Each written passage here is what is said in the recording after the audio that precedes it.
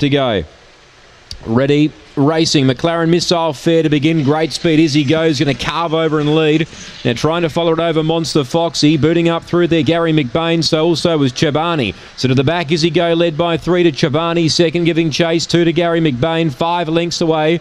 Bathtub Teddy. Then came McLaren Missile. Still too far back from Pie Eye. Then Bolly Bale. Last is Monster Foxy. Up front, though, the leader, is Izzy Go. Is he going all right? It led by about five. Look at McLaren Missile from the rear, charging home. But Izzy Go will be defeat McLaren Missile. Third, Gary McBain. Fourth might be Bathtub Teddy. Then came Chobani. Well back was Pie Eye. It never featured. Neither did Monster Foxy. And last in Bolly Bale. The time for the last, 30.08. Izzy Go? Is he go too good? But boy, oh boy, McLaren Missiles made some ground. It has steamed home into second. Four, Gary McBain will run third. And five, fourth, Bathtub Teddy.